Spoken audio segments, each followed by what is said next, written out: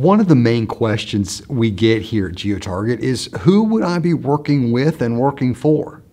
Well, we have two main sales leaders here at GeoTarget, Kevin Rennert and David Baird. And not only did both these guys start in the field as sales reps, but they're still selling. And quite often, they outsell their own reps. And David and Kevin and I have been working together for over five years on this and other marketing products. And I'm proud to say that every member of the leadership team started out in the field selling, just like the position you're applying for. Another question that I receive quite frequently is what is the main challenge your sales rep face? Well, the main challenge reps face is the suspicious posture that a business must take towards almost every advertising opportunity. Most advertising products, unfortunately, don't do anything to help the business. Yet, this does not keep them from aggressively calling business owners trying to sell these products. Therefore, business owners, well, they can be conditioned to simply say no to every advertising opportunity. And it is this prejudice that our sales reps must overcome. Sometimes we can say the right things to overcome the prejudice, and often, because of the prejudice, we just have to work harder. Therein lies the great challenge separating ourselves from the majority of advertising products that fail to perform for their clients. And a question I get on almost every conversation with a potential sales rep is tell me about your comp plan.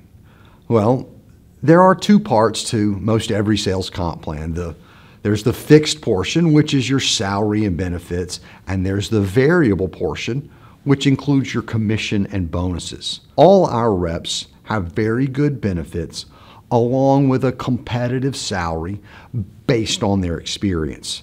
The more verifiable experience an applicant has, the more comfortable I am with a larger fixed salary and a lower commission. With less experience, we may offer less salary with higher commissions. We also offer flexibility after the hire.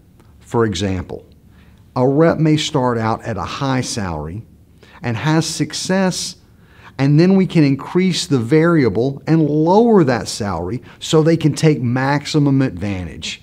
All that being said, the majority of our sales reps are positioned to earn close to or over $100,000 this year, with our top earner close to 200K. Another factor in comp plans is the renewal rate and we are steadily moving towards a renewal rate that leads this industry. This is a part of our business that we are very proud of and a great testament to our team. And another question that we receive quite frequently is tell me about the day to day life in a sales rep. Well, the day to day here is a high activity process that requires a lot of lightly researched cold calls in order to get qualified Zoom or in person appointments. You know, this isn't glamorous. We see lots of gatekeepers that we try to work with or work through or even work around. Our prospects get a lot of calls with products that most of the time aren't quite worth their time, much less their money. And distinguishing the good from the bad can be challenging for almost all our business prospects. So, this process that our sales reps follow can prove tedious and frustrating even for the best of us. The process of cold calling affects people differently. Some folks move forward with purpose after rejection, while others take it a little more personally. If you're in the latter group, this probably isn't the right position for you. But if you're in the move forward with purpose group after a little rejection, then please keep learning about the company. Personally, having started full commission in the field, I understand how challenging building a successful territory is.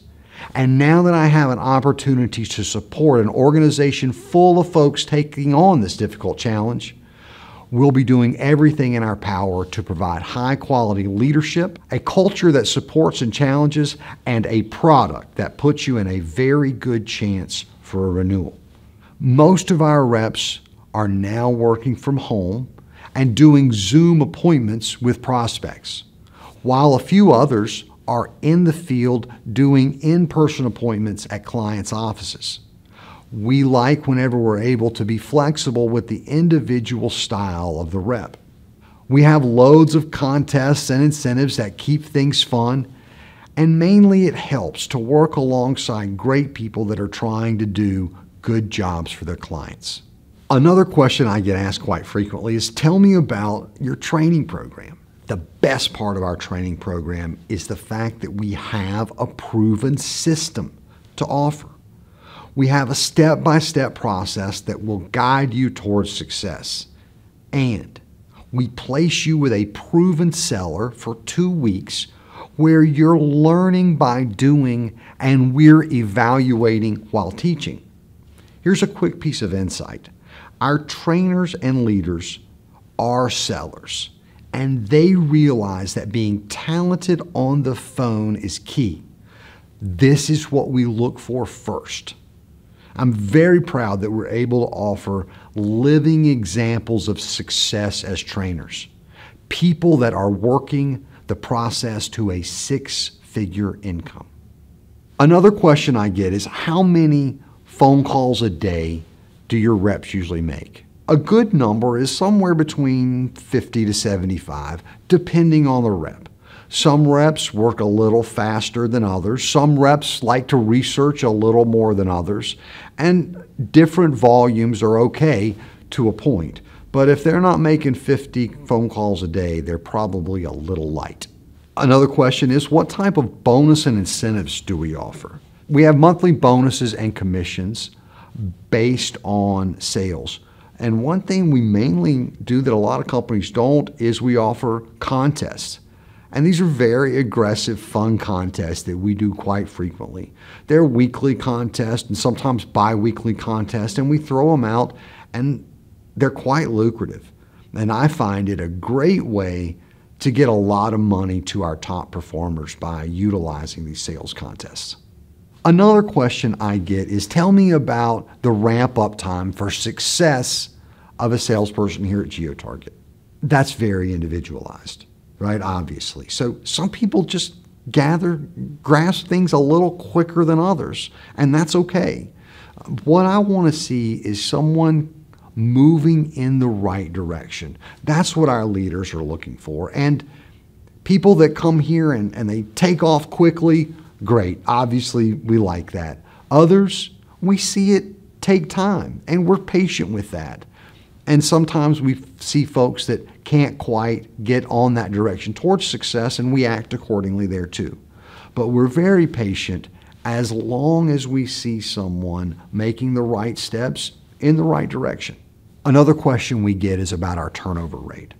One thing to realize about turnover is any business to business sales company is going to have higher turnover than a lot of businesses. So, as I talk, no, I'm comparing myself to other companies in our world.